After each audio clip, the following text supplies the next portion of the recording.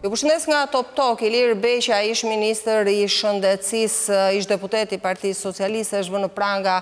herët paraditen e sotme me urdhër të Strukturës së Posaçme Antikorrupsion. Prej shumë kohësh e kemi parë që çdo javë të paraqitej në spak, mbi të rëndojnë disa akuza, Vendimi duket se ka qenë i menjëhershëm, Beqaj dhe dy bashkëpunëtorët e tij janë në pranga, pesë persona të tjerë janë shpallur në kërkim. Neritan Alibali është me mua në studio, përshëndetje, mirë se ke ardhur. Përshëndetje. Anila Hoxha po ashtu është me mua në studio, Anila të përshëndes, faleminderit që je në Top Talk. Përshëndetje. Anila, u duk si një vendim i papritur, ndërkohë që kishim shumë kohë që ishte bërë gati gati rutinë vajtja e Ilir Beqajt përpara Strukturës së Posaçme antikorrupsion. Pse? E vërtetë Juli, rutina e Ilir Beqajt ishte e përjavshme dhe veçanërisht të premteve, ku ai zbatonte detyrimin e Gjykatës së Posaçme për t'u paraqitur përpara oficerëve të Policisë Gjyqësore të BKH-së në zbatim të një hetimi që e kishte atë të dorëzuar si të akuzuar për shpërdorim detyre për dosjen e sterilizimit. E teksa Ilir Beqaj nga marsi dy mijë e njëzet e katër vazhdonte të ishte në statusin përbashkë me të akuzuarit e tjerë të dosjes së sterilizimit, si i dyshuar përpara gjyqtarit paraprak me një proces të bllokuar, mbasi Beqaj, si ish-ministër shëndetësie pretendonte se duhet të studionte të gjitha materialet hetimore e më pas të shikonte dhe të mbante qëndrimin e tij, vendimi i Prokurorisë së Posaçme, spak, që u aprovua nga gjyqtarja anti Korrupsion Rudina Palloj në fakt ishte paraprirë në dhjetor dy mijë e njëzet e tre, atëherë kur e njëjta gjyqtare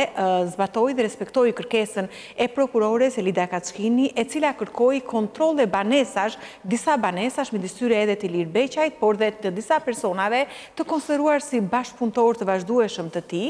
dhe ky mandat i aprovuar nga Gjykata Antikorrupsion, Jepte gjithashtu dhe të gjithë fabulën se për çfarë dyshohej dhe çfarë çështjeje hetimore ishte regjistruar. Bëhet fjalë për një denoncim që i përket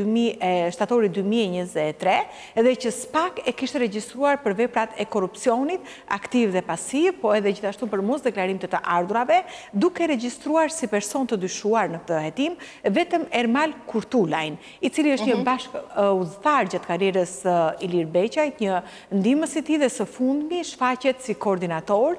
pranë SASPAK që drejtohej për gati një vit nga drejtori i përgjithshëm i asaj kohe, Ilir Beqaj, i cili nuk ishte më ministër shëndetësie, por ndërkohë, teksa kishte avari dhe problematika me SPAK-un dhe Gjykatën Antikorrupsion për dosjen e sterilizimit, duket se mjaft dritëhije të tjera u hodhën ndaj tij sa i takon veprimtarisë dhe veçanërisht thënë thjesht për publikun, Bëhet fjalë për disa fatura fiktive të lëshuara, thotë Prokuroria e Posaçme SPAK, të cilat përmes Kurtulajt lëshoheshin nga subjektet private dhe që si pikë fundore dhe përfituese kishin ish-ministrin e Shëndetësisë Ilir Beqaj. E megjithatë në vendimin e zbardhur të Gjykatës Antikorrupsion, të cilin unë pata mundësi ta lexoja, gjyqtarja e çështjes i sugjeronte SPAK-ut dhe ky është qëndrimi i disa të Gjykatës Antikorrupsion që i jep sugjerime qëndrimeve të prokurorëve të posaçëm të SPAK, se do të ishte më mirë dhe sugjeronte që hetimet të orientoheshin jo për korrupsion ndaj Ilir Beqajt, por me shumë mundësi, thotë gjyqtarja e posaçme, i thotë prokurores së posaçme Elida Kaçkini, do shikohet dhe vlerësohet se nga renditja e provave ka vend për mosdeklarim dhe fshehje pasurie, dhe nga ana tjetër edhe për mashtrim. Megjithatë, në përfundim, Rudina Palloj e aprovon masën e sigurisë për Ilir Beqaj pikërisht për akuzën që ka kërkuar zonja Kaçkini dhe bëhet fjalë për akuzën dhe dyshimet e korrupsionit nga njëra anë dhe për mosdeklarim apo fshehje të të ardhurave nga ana tjetër. Të ardhurave dhe të pasurisë. Mirë Anila, do më sqarosh diçka të lutem. Beqaj ka kaq kohë që paraqitet në SPAK, është nën akuzë, akuzat ndaj tij janë bërë të qarta. Pse u vendos sot që të bëhej kontrolli i banesës së tij? Pra ka më kuptim? Kontrolli i banesës, siç e thashë Juli, ka patur një vendim të mëparshëm dhe konkretisht në datën... A është bërë më herët, sepse po, sot në datën 27 dhjetor... Në lajme shihja që do të kishte kontroll të banesës. Në datën 27 dhjetor 2023 Gjyqtarja Rudina Palloj shpall një vendim me numër akti pesëqind e njëzet e shtatë, në të cilin thuhet, lejohet kontrolli i banesave të përcaktuar si më posh, poshtë, banesa Ermal Kurtulaj, dhe jepet adresa, banesa e Gazment Prengës, banesa e Arben Danit, banesa e Ilir Beqajt, dhe jepet adresa në rrugën Ibrahim Rugova, kontrolli i katër automjeteve dhe gjithashtu kërkohet që të kontrollohen disa zyra midis tyre zyrat dhe ambientet e Gzona Restorant, Janë disa ambiente dhe shoqëri të Delta Holding dhe shoqëri të tjera të cilat janë kontrolluar, por edhe banesa, siç e thashë. Dhe ditën e sotme ka patur zbatim të masës së sigurisë të vendosur në mungesë ndaj tetë personave. Tre prej tyre, siç e thatë dhe ju, janë në masën arrest me burg, dy të tjerë janë arrest shtëpiak dhe tre të tjerë janë detyrim me paraqitje. Qartë, tani përpara se të të pyes për rolet e të gjithëve, Anila më thuaj, ma sqaro pak, arsyen se pse u arrestua sot dhe pse nuk u vazhdua me detyrim paraqitje për të mbyllur plotësisht hetimet edhe për këto akuzat e tjera. Pra çfarë e bëri diferencën, që detyroi SPAK-un të kërkonte arrestin? Pyetje shumë e bukur Juli, por kam përshtypjen se kjo pyetje lidhet me dy çështje të ndryshme që do më duhet t'i sqaroj. Po. Masa e sigurisë detyrim me paraqitje, e shpallur ndaj Beqaj dhe tetë personave të tjerë, midis tyre anëtarë të Komisionit të Vlerësimit të Ofertave dhe ish zëvendës ministri i Shëndetësisë Klodian Rrjepaj, por edhe biznesmeni Ilir Rrapaj, këta të dy vazhdojnë nën masën arrest me burg, është një dosje tjetër. Në këtë dosje, sërish, gjyqtari Erion Bani, në momentin që prokurori i posaçëm i spak e dorëzon çështjen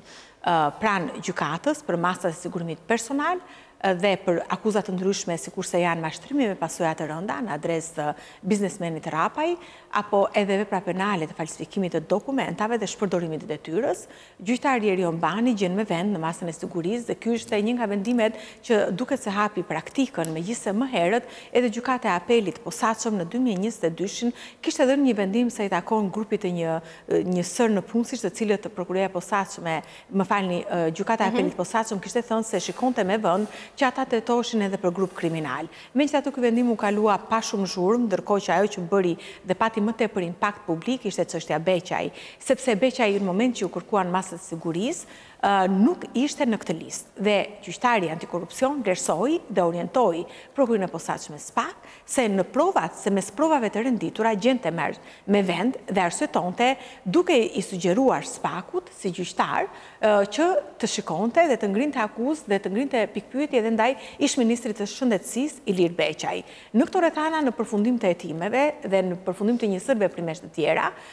Prokuroria e Posaçme, spak, shkon përpara gjykatës dhe kërkon masën e detyrimit me paraqitje ndaj Beqajt, duke renditur midis tyre rrethana lehtësuese, sikurse është fakti që ai nuk ishte një person i rrezikshëm nga njëra anë dhe nga ana tjetër se këtë praktikë e kishte mbajtur edhe për anëtarë të tjerë të dyshuar për shpërdorim detyre ndaj të cilëve ishte vendosur masa e detyrimit me paraqitje. Dhe në këtë moment kjo masë sigurie aprovohet dhe së bashku me të, detyrimi që të paraqitej çdo të premte nga njëra anë, por edhe bllokimi i pasaportës dhe ndalimi për të dalë jashtë Shqipërisë. Një detyrim të cilin ish-ministri i Shëndetësisë e ka zbatuar dhe është paraqitur çdo javë. Kjo është ky është episodi i parë. Kjo që po flasim ne sot është një çështje tjetër dhe lidhet me detyrën e mëpasshme të Ilir Beqajt si drejtor i përgjithshëm i SASPAK, që është agjencia shtetërore e Programit Strategjik dhe Koordinimit të Ndihmës, njohur ndryshe si SASPAK, siç e thashë, Që menaxhon, ma sqaro pak këtë, që menaxhon fondet që ne na vijnë nga Bashkimi Europian, se kjo ka qenë akuza, vjedhje e fondeve të Bashkimit Europian. Dhe të jemi, Kjo është edhe në parlament sot. dhe të jemi strikt ndaj të vërtetës, Po. SASPAK është person juridik publik buxhetor në varësi të kryeministrit, krijuar me vendim të Këshillit të Ministrave, numër gjashtëqind e dyzet e dy, datë njëzet e nëntë tetor dy mijë e njëzet e një, për dhe jep detyrat dhe funksionet dhe midis tyre është ë janë dhe menaxhimi i fondeve të të rajonale të asistencës financiare të Bashkimit Evropian, monitorimi dhe zbatimi i tyre është një nga misionet dhe kompetencat e SASPAK. si dhe mbështet punën e Koordinatorit Kombëtar për Instrumentin e Paraaderimit të Asistencës Financiare të Bashkimit Europian, ku koordinator, siç e thashë, ishte i përgjithshëm, ishte drejtori i përgjithshëm i SASPAK, Ilir Beqaj, detyrë të cilën ai e mbajti për një vit.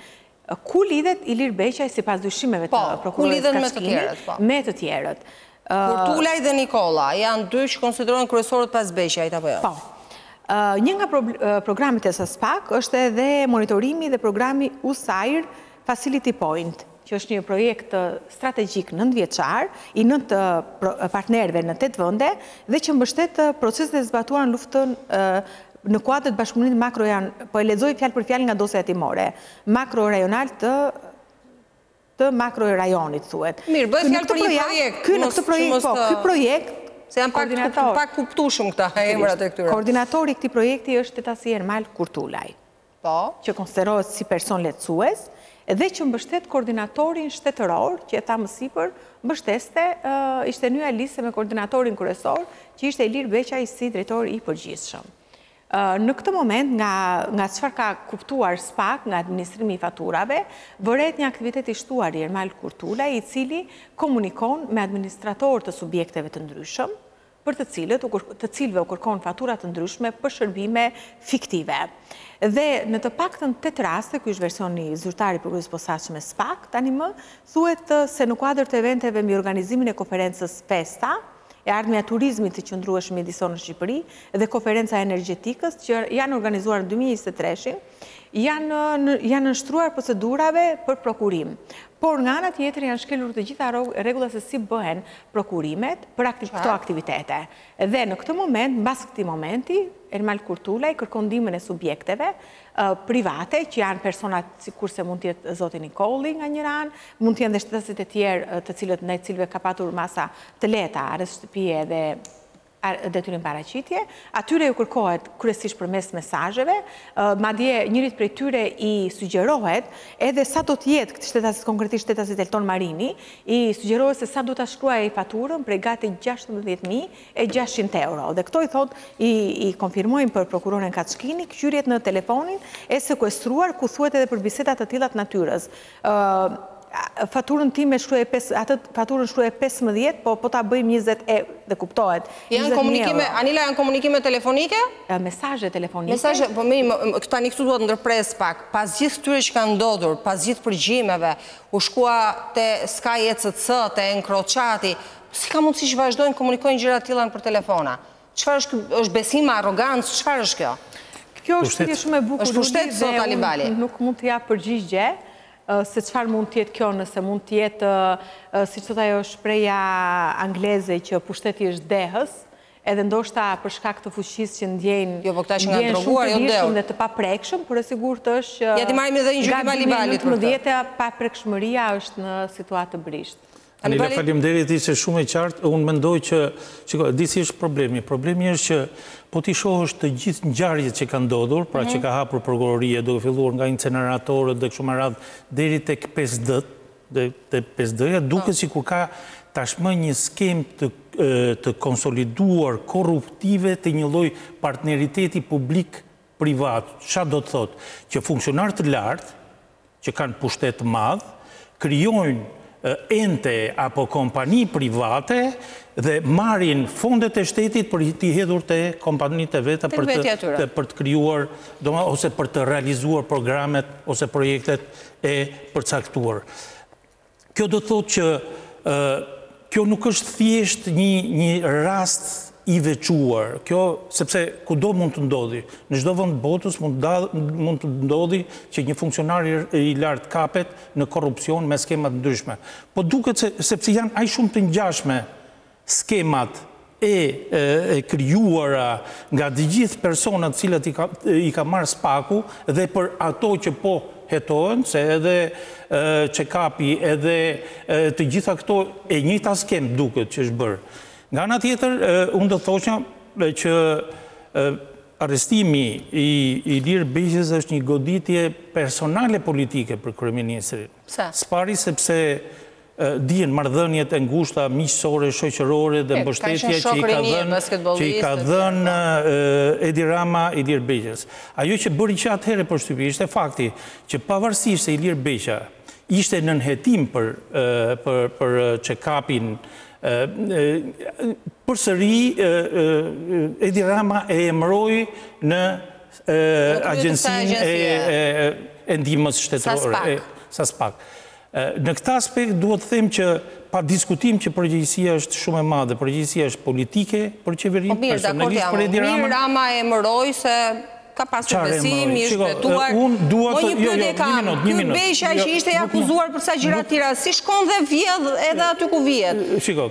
ajo është pastaj tjetër gjë, është çështja e ujkut dhe mëlçitë që i varen qafë. Po mban mend shumë mirë, dhe Anila e mban mend pa diskutim,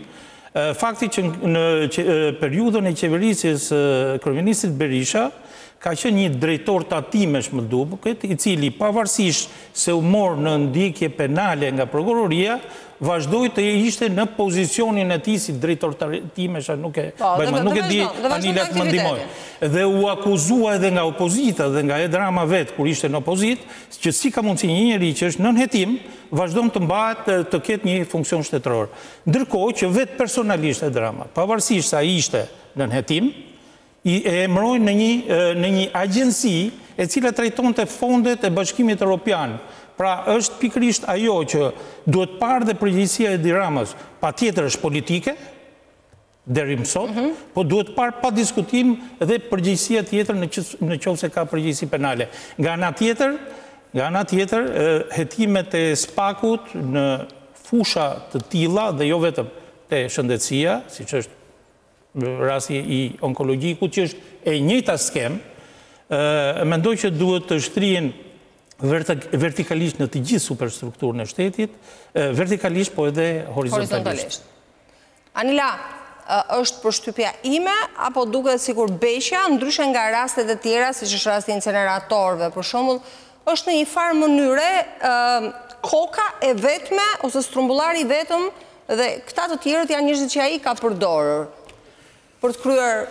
vjedhjen e quajtëm ne, korrupsionin, po vjedhjen le ta quajmë shqip në në fund të ditës. Nëse ne do t'i qëndrojmë vendimit të masës së sigurimit dhe unë e thashë në krye të herës, e cila jep piketa dhe vendos piketat e saj, ne duhet të kuptojmë diçka, sipas hierarkisë juridike gjykata është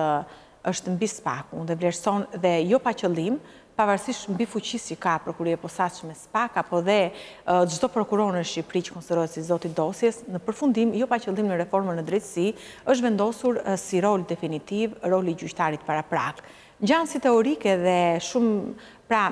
shumë juridike për ta thënë, por piketat që ka vendosur për Ilir Beqajn, gjyqtarja e shkallës së parë antikorrupsion që ka aprovuar masën arrest me burg për Beqajn, janë shumë domethënëse për hapat që do të duhet të ndjekë prokurorja e çështjes, Elida Kaçkini për të vërtetuar dhe provuar pikërisht veprimin që ka kryer ai si një person i korruptuar. Pra kjo është ideja. Prokuroria e Posaçme e dyshon Ilir Beqajn për korrupsion ë dhe për fshehje të pasurisë për Gzonën, duke argumentuar edhe mënyrën se si u kalua prej tij thuhet pra se si një përqindje e caktuar e aksioneve të Gzonës i posedonte bashkëshortja e vet, e kështu me radhë. Tani. Gjykata thotë që mund të ketë vend për mashtrim, por jo për korrupsion, sepse ne dimë që do duhet të provohet pikërisht se çfarë ka përfituar, nëse përftues i të gjitha faturave fiktive është vërtet Ilir Beqaj sikur ngrihet pretendimi, apo është shtetasi Ermal Kurtulaj. Pika që i lidh të dy, edhe Ermal Kurtulajn, edhe Ilir Beqajn, është historiku i tyre dhe fakti që kanë udhëtuar gjatë karrierës së Beqajt në disa pozicione, Ermal Kurtulaj nuk e ka braktisur asnjëherë, por gjithmonë ka qenë i atashuar me detyra të përafërta dhe përreth Ilir Beqajt, por do të duhet të provohet që të gjitha Edhe kjo është klasike, ëh, edhe këtë duhet ta themi. Gjithmonë zgjedhin një person që është personi i besuar edhe që e marrin kudo me vete. Spak nga ana tjetër konsideron si fshehje pasurie dhe mosdeklarim edhe një automjet. të cilin ishte i regjistruar në emër të bashkëpunëtorit të tij, por që ndërkohë spak ka këqyrur edhe mediat në momentin kur Ilir Beqaj paraqitej përpara Prokurorisë Posaçme spak nën masën detyrim paraqitje dhe ndërkohë një oficer policie i Policisë Rrugore i vendosi gjobë këtij automjeti dhe konsideron se ka gjetur provat e mjaftueshme për të deklaruar para gjykatës dhe për ta për t'i renditur provat në mënyrë të qartë se edhe automjeti është në pronësi të Ilir Beqajt, por ai e ka fshehur këtë fakt, sikurse ka fshehur dhe sikurse thuhet se ka fshehur edhe faktin që ortak i ortak i vetëm i Gzonës është ish-ministri i Shëndetësisë, Ilir Beqaj, po nga ana tjetër Gzona si si subjekt përfshihet në disa fatura në disa fatura të paguara dhe një ndër to për shembull më lejoni Juli që ta lexoj një ndër to këto fatura është për disa shërbime të kryera ku në fund fatura totale ku llogaritet edhe dieta për secilin person është gati 4 milion lek dhe duke lidhur faktin dhe këtu mund të qëndrojë duke lidhur faktin se ortak i Gzonës është Ilir Beqaj do të shohim provat që do të jenë në vazhdim në këtë procedim dhe nga ana tjetër faturat që janë shlyer për shërbime të tjera, ndoshta kjo është një rrethanë korrupsioni që do ta rëndojë situatën e Ilir Beqajt, për sa kohë ai e ka masën e sigurisë, por nga ana tjetër qëndron sërish në fuqi sugjerimi i gjyqtares së shkallës së parë, i cili vërtet është sugjerim, por në raste të tjera këto sugjerime spaku ka qenë i detyruar që që t'i bindet dhe të orientojë hetimet. Anila, nëse flasim për një shifër totale, qoftë edhe të përafërt, sa, për gjitha akuzat flas, pra cila, cila është pesha ose kostoja e Ilir Beqës? Po unë nuk mund të të them në total, por ja do të, një faturë është fatura me subjektin Bledar Leka, gjithashtu me masë sigurie të lehtë, i cili i lëshon një faturë, firmos një faturë fiktive me një, për konsulencë gati njëzet mijë euro. Konsulencë. Një tjetër është gjithashtu një faturë e firmosur dhe që i kërkohet të dyshuarës tjetër detyrim paraqitje Bjona Ziaj, e cila komunikon me një punonjëse dhe i thotë, e kjo e fundit i thotë me inicialet MT, e cila i thotë që i duhet një faturë për qeranë, bëhet fjalë për një projekt me Kosovën. Një faturë tjetër prej pesëmbëdhjetë mijë euro është është firmosur nga Marinela Jazoj, e cila është në masën detyrim paraqitje, për shërbime konsulence. Një faturë ne e kemi raportuar dhe gjatë edicionit të lajmeve, është fatura për që është firmosur nga shtetasi që ka masën me mbiemër Marini, i cili ka masën e arrestit shtëpiak, bëhet fjalë për një faturë prej gati njëqind e njëzet e pesë mijë euro, që është për organizimin e konferencës midis datave tre dhe pesë prill dy mijë e njëzet e tre dhe që nga ana tjetër është prokuruar nga Ministria e Turizmit dhe Mjedisit me vlerë sipas çmimit të kontratës, por që në përfundim, siç e thashë dhe më herët, faturat kanë kaluar përmes subjektit Kuptova. Anila, për ta mbyllur, Sa rrezikon Beqja? Në rast se nuk mund të themi qëndrojnë akuzat? Tani nuk mund të themi se sa e para një herë Juli, ne duhet t'i raportojmë publikut dhe t'i themi që brenda dy ditëve në vazhdim, Ilir Beqja paraqitet për verifikimin e kushteve të masës së sigurimit personal, për këtë masë ku ndaj tij atribuohen dy vepra penale, e korrupsionit dhe e fshehjes, mosdeklarimit të dy pasurive. dhe së bashku me të dhe të gjithë personat e tjerë, në total janë 8 persona, secili do të ketë kundërshtimet e tij, hetimi është e qartë që hetimi i SPAK bazohet mbi fatura financiare dhe mbi komunikime të përftuara nga këqyrjet në telefonin e shtetasit Ermal Kurtulaj. Nejse, pyetja sa mund të jetë dënimi është gjithmonë në rast se akuzat do të qëndrojnë dhe do të pranohen dhe do të vërtetohen, në? Jemi ende herët, por në rastin më të mirë, nëse do të qëndrojnë të dyja këto vepra penale dhe pa llogaritur edhe çështjen tjetër për të cilën Ilir Beqaj thotë që më duhet ende kohë për të, ka thënë vazhdimisht dhe ka deklaruar për mediat se i duhet kohë për të studiuar të gjithë fashikujt, në rastin më të mirë Ilir Beqaj rrezikon gjithmonë nëse do të konstatohet dhe do të gjenden prova dhe të konstatohet dhe të gjendet fajtor, në rastin më të mirë ai rrezikon katër vite burgim. Katër vite burgim. Mirë, Anila të falenderoj. Faleminderit. Ne shkëputemi për një hapësirë shumë të shkurtër publicitare, kthehemi sërish me Ali Balin në studio dhe do të kemi dhe Ervin Salianjin në lidhje të drejtpërdrejtë.